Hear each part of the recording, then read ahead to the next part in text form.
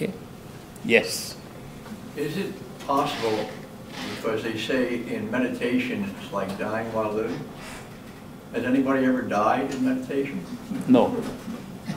Indeed, my dad, when he got initiated by Great Master, and he had the first experience, it, it appeared to him he was dying.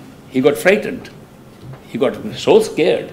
He said, I'll never meditate again because he felt that the whole of his life was being pulled out from the body, it's going away.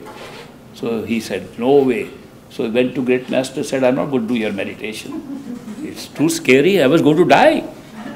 He, he laughed, Great Master laughed, and he said, uh, You know, in our total experience, of all cases known to us, nobody has ever died in meditation.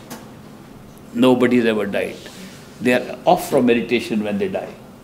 It's so arranged that meditation, which dying while living, gives you the same experience, but you're still living in the physical body. And also, he said, Great Master said, to take care of the scary part of it, he said, What do you expect if you really were to die? What would you expect to see? He said, I hope you are there. He said, I will be there. And therefore, there's nothing to be scared of.